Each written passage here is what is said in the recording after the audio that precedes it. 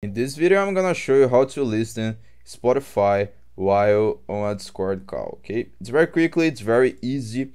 So the first thing you need to do, and the only thing you need to do, is click on this button right here, okay? And find connections, okay? On the first option, user settings, connections.